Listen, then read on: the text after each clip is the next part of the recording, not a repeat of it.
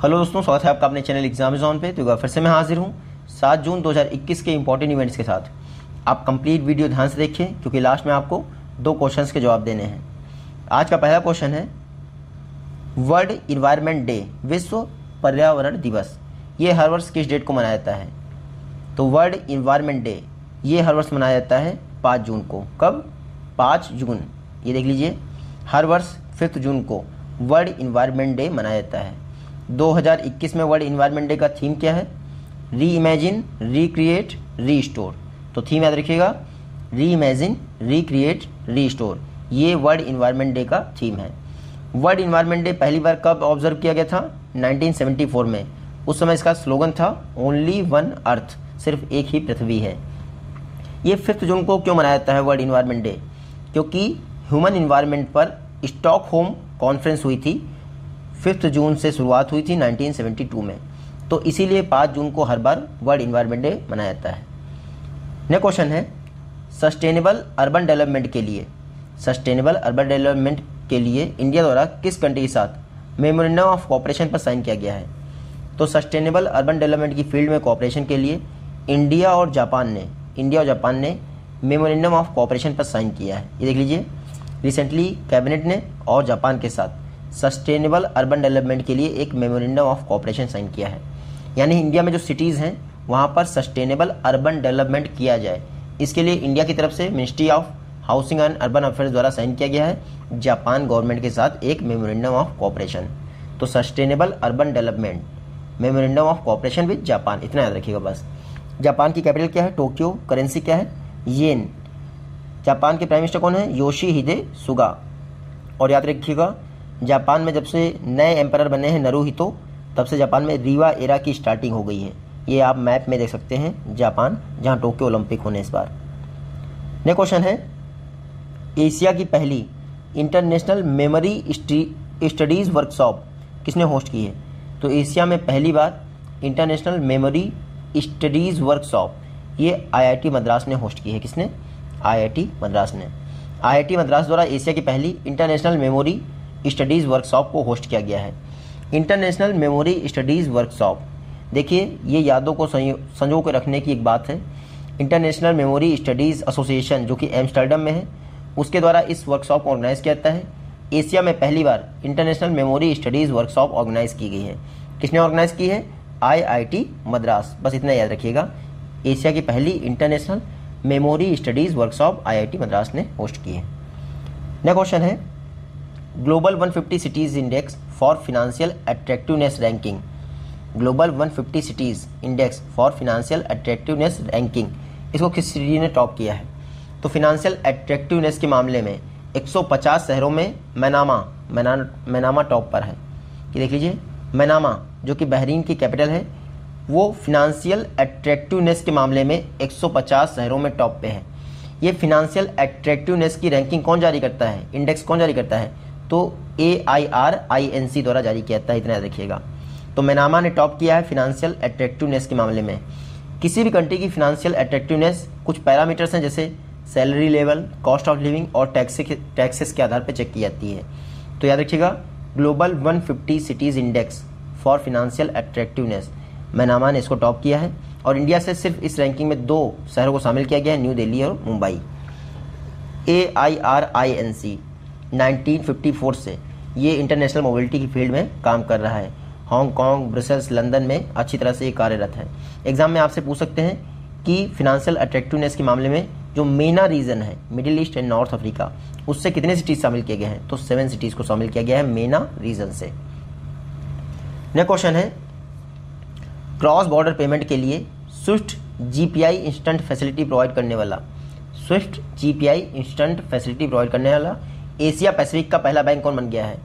तो SWIFT GPI, instant facility provide करने वाला एशिया का पहला बैंक बन गया है। एशिया पैसिफिक का पहला बैंक बन गया है आईसीआईसीआई बैंक। ये देख लीजिए, ICICI bank Asia Pacific region का पहला बैंक हो गया है, जो कि इंडिया में अपने बेनिफिशरीज को SWIFT SWIFT GPI instant facility provide करेगा। स्विफ्ट जीपीआई इंस्टेंट फैसिलिटी क्या होता है? देखिए, अगर इंटरनेशनल पेमेंट आपके अकाउंट में ट्रांसफ़र करना है तो इसके लिए स्विफ्ट कोड नेसेसरी होता है। तो एशिया पैसिफिक से कोई भी अगर आईसीआईसी बैंक के अकाउंट में पैसा भेजना चाहता होगा तो एशिया पैसिफिक क्षेत्र में आई बैंक पहला बैंक बन गया है, जिसने SWIFT GPI instant facility provide की है। और वर्ल्ड में ये दूसरा बैंक है। तो इतना याद रखिएगा। आई बैंक की बात करें तो 1994 में स्थापना हुई थी। वडोदरा में इसका हेडक्वार्टर है। सॉरी अब नहीं है इसका हेडक्वार्टर वडोदरा में, मुंबई में इसका हेडक्वार्टर है। सीईओ हैं संदीप बख्शी। आईसीआईसीआई बैंक का फुल फॉर्म देख लीजिए industrial credit and investment corporation of India SWIFT भी इंपॉर्टेंट है। स्विफ्ट का फुल फॉर्म क्या होता है? Society for world wide interbank financial telecommunication बिना स्विफ्ट कोड के आप इंटरनेशनल मनी में ट्रांसफ़र नहीं कर सकते हैं। नया क्वेश्चन है। इंडिया का लार्जेस्ट आईपीओ किस पेमेंट कंपनी द्वारा जारी किया जाने वाला है? तो इंडिया में लार्जेस्ट आईपीओ जारी किया जाने वाला है पेटीएम द्वारा। पेटीएम इंडिया का लार्जेस्ट आईपीओ जारी करने जा रहा है। लगभग अपने पहले आईपीओ से यानी आईपीओ तो पहली बार जारी किया जाता है पेटीएम का जो आईपीओ होगा वो थ्री बिलियन डॉलर का होगा यानी इक्कीस हज़ार आठ सौ करोड़ इक्कीस हज़ार आठ सौ crore.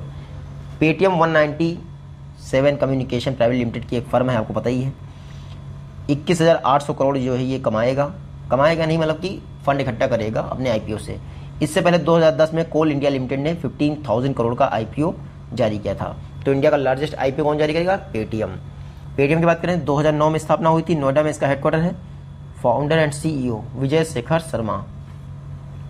Next next question है हीडलबर्ग सीमेंट हीडलबर्ग सीमेंट किस कंट्री का सीमेंट ग्रुप है?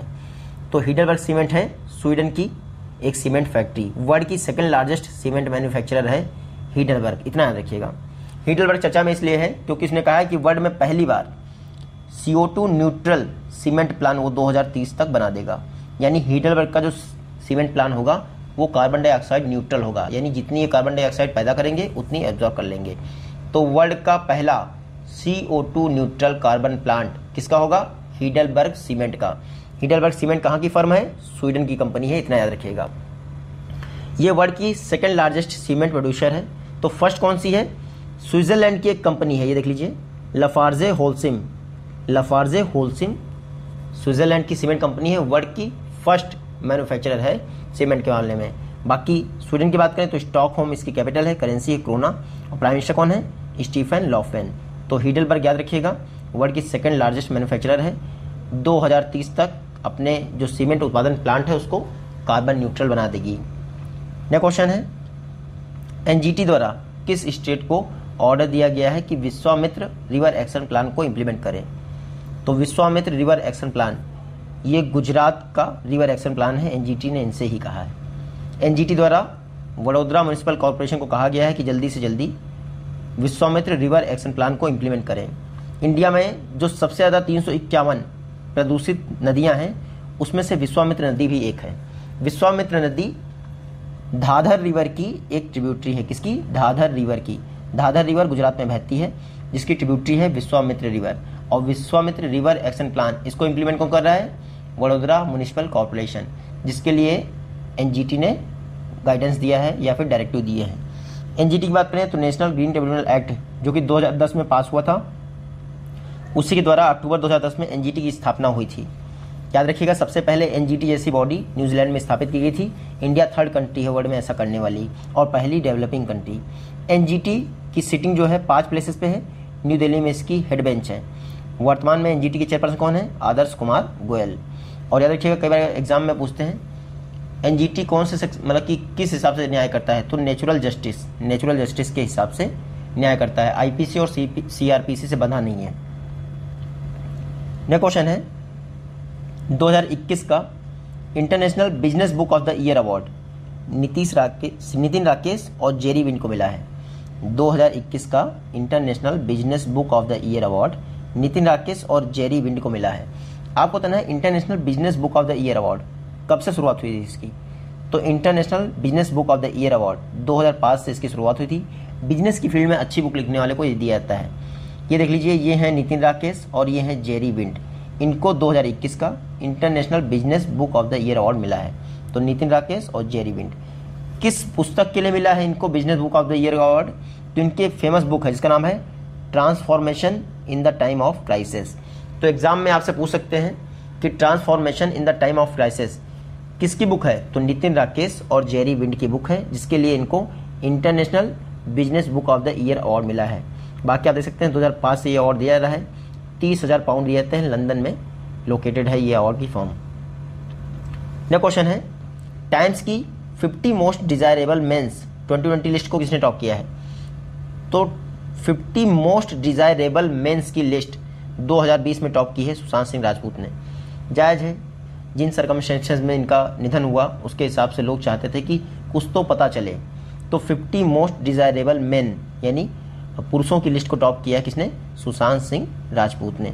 बाकी आप यहाँ देख सकते हैं, टोटल 40 सेलिब्रिटीज़ को शामिल किया गया। सेकंड नंबर पे कौन है? आदित्य राव कपूर हैं। नंबर तीन पे विक्की राय कौशल, विक्की कौशल हैं। तो इंडिया से ही हैं। बस ध्यान रखिएगा टाइम मैगजीन की जो 50 मोस्ट डिजायरेबल मैन की लिस्ट है, उसको टॉप किया है किसने? सुशांत सिंह राजपूत ने। I E P F A investor education and protection fund authority इसकी एक शॉर्ट फ़िल्म है, हिसाब की किताब।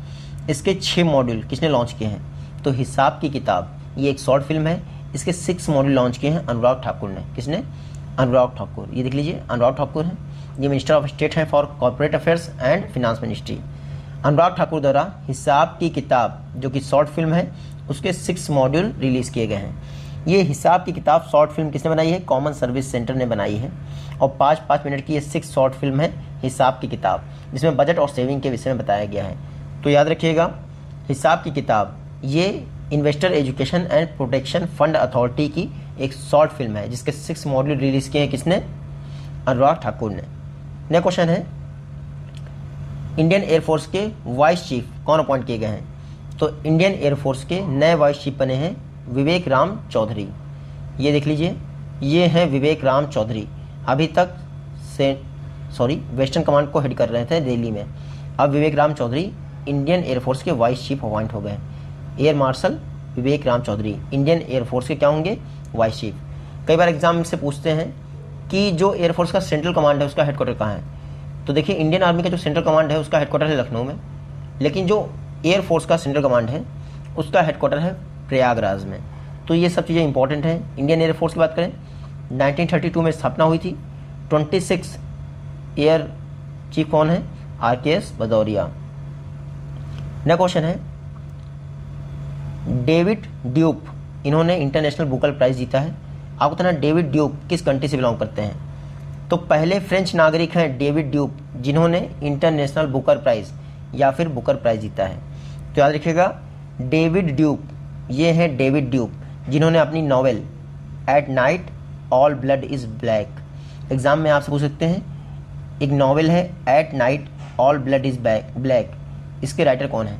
या फिर इस तरह से क्वेश्चन पूछ सकते हैं कि इस बार का जो इंटरनेशनल बैन बुकर प्राइज है, वो दिया गया है, at night all blood is black. इस नॉवल के लिए। इसके राइटर कौन है? तो डेविड ड्यूब डेविड ड्यूब की ये बुक है at night all blood is back जिसके लिए इनको बुकर प्राइज दिया गया है। बुकर प्राइज इंग्लिश की किसी नॉवल के लिए दिया जाता है सॉरी किसी और भाषा की नॉवल को इंग्लिश में ट्रांसलेट करने के लिए दिया जाता है। तो फ्रेंच में इन्होंने ये नॉवल लिखी थी डेविड ड्यूक ने, इसको इंग्लिश में ट्रांसलेट किया गया है। इंग्लिश में ट्रांसलेट किसने किया है? एना मॉस्कोवा किस मॉस्को वाकिस इन्होंने इसको ट्रांसलेट किया है। इंटरनेशनल मैन बुकर प्राइज 2005 से दिया जा रहा है। सबसे पहले अल्बानिया के एक राइटर हैं इस्माइल कदर है उनको दिया गया था। International man Booker prize English की नावल को दिया जाता है। यानी इंग्लिश में वो नावल होनी चाहिए। तो पहले ये फ्रेंच लैंग्वेज में थी अब ये इंग्लिश में हो गई। तो नाम है देखिएगा डेविड ड्यू फ़र्स्ट फ्रेंच ना, नागरिक हैं जिनको ये मैन बुकर प्राइज दिया गया है। नेक्स्ट क्वेश्चन है आरबीआई द्वारा सिडबी के लिए स्पेशल लिक्विडिटी फैसिलिटी के तौर पर कितने करोड़ मुहैया करवाए गए हैं? तो आरबीआई ने सिडबी को 16,000 करोड़ दिए हैं। कितने? 16,000 करोड़ दिए हैं ताकि स्पेशल लिक्विडिटी फैसिलिटी प्रोवाइड कर सकें एमएसएमई सेक्टर को। ये देख लीजिए आरबीआई द्वारा सॉरी आरबीआई द्वारा सिडबी को 16,000 करोड़ दिए गए हैं। Small industry development bank of India SIDBI RBI ने इनको 16,000 करोड़ दिए हैं ताकि एमएसएमई सेक्टर को कोविड क्राइसिस से निपटने में हेल्प कर सकें। ये जो 16,000 करोड़ दिए गए हैं सिडबी को आरबीआई द्वारा ये एक साल तक के लिए दिए गए हैं और रेपो रेट पर। इस समय आरबीआई की रेपो रेट क्या है? 4.00 परसेंट। रिवर्स रेपो रेट क्या है? 3.25 परसेंट। कल ही मैंने बताया था आपको। कुछ समय पहले आरबीआई द्वारा इस बैंक का लाइसेंस कैंसिल कर दिया गया था। हमारे लिए इंपॉर्टेंट है SIDBI small industries development bank of India second April 1990 को स्थापना हुई थी। हेडक्वार्टर बहुत पूछते हैं, लखनऊ में है। चेयरमैन कौन है? चेयरमैन एमडी हैं Shiva S Raman next question है। F financial action task force का जो रीजनल ऑफ़िस है एशिया में Asia Pacific group on money laundering इसने किस कंट्री की इन्हांस्ड फॉलो अप स्टेटस को रिटेन रखा है?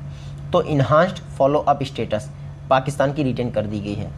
ये देख लीजिए, जो एफएटीएफ का एशिया पैसिफिक ग्रुप है, उसने पाकिस्तान को इन्हांस्ड फॉलो अप स्टेटस में रखा है। मतलब क्या है? ये काम तो कर रहे हैं। मनी लॉन्ड्रिंग और टेरर फाइनेंसिंग को रोकने के लिए। लेकिन इनका फॉलो अप लेना बहुत ज़रूरी है कि ये सही से काम कर रहे हैं या नहीं। जून 2018 में पाकिस्तान को ग्रे लिस्ट में रखा गया था, तब से ये ग्रे लिस्ट में ही वर्ल्ड में दो कंट्री ब्लैक लिस्ट में है नॉर्थ कोरिया और ईरान इतना याद रखिएगा। F financial action task force money laundering और टेरर फाइनेंसिंग पर निगरानी करने वाली इंटर गवर्नमेंटल बॉडी है। जी सेवन की रिकमेंडेशन पर 1989 में इसकी स्थापना हुई थी। एफएटीएफ में 37 मेंबर हैं इंडिया भी इसका मेंबर है। और हर वर्ष तीन बार इसकी मीटिंग होती है। एग्ज़ाम में आपसे पूछ सकते हैं इसका हेडक्वार्टर कहाँ है? तो जहाँ पे ओईसीडी का हेडक्वार्टर है, वहीं पर एफएटीएफ का हेडक्वार्टर है यानी पेरिस यह क्वेश्चन है? आई एम की स्थापना किस वर्ष हुई थी? तो जुलाई 2000 सॉरी जुलाई 1944 में वर्ल्ड बैंक की हुई थी और अगले साल, यानी 1945 में आईएमएफ की स्थापना हुई थी। ब्रिटेन वुड संस्था कहते हैं ना इनको दोनों को। आईएमएफ इसलिए चर्चा में है क्योंकि इंडिया की जानी मानी इकोनॉमिस्ट और आईएमएफ की एचआर डिपार्टमेंट की हेड, कल्पना कोचर। आईएमएफ में एचआर डिपार्टमेंट की हेड, कल्पना कोचर। अगले महीने रिटायर हो रही हैं। पिछले तीस वर्षों से ये कल्पना कोचर जी आईएमएफ में एचआर डिपार्टमेंट में काम कर रही थी, अब ये रिटायर हो जाएँगी। तो याद रखिएगा, कल्पना कोचर इंडियन इकोनॉमिस्ट हैं, आईएमएफ में काम कर रही थी, अब ये रिटायर हो जाएँगी। आईएमएफ की बात करें तो दिसंबर 1945 में स्थापना हुई थी। हेडक्वार्टर है वॉशिंगटन डीसी में। एमडी कौन है? क्रिस्टलिना जॉर्जीवा और चीफ इकोनॉमिस्ट हैं गीता गोपीनाथ। आईएमएफ में 190 कंट्रीज़ मेंबर हैं। रिसेंट कौन बना है? मैंने कई बार बताया है, आप देख लीजिएगा। ये आज की वीडियो से क्वेश्चन है। आई होप कि आप इन दोनों का जवाब दे पाएँगे। जल्दी मिलते हैं आपसे नेक्स्ट वीडियो में। तब तक के लिए टेक केयर गुड बाय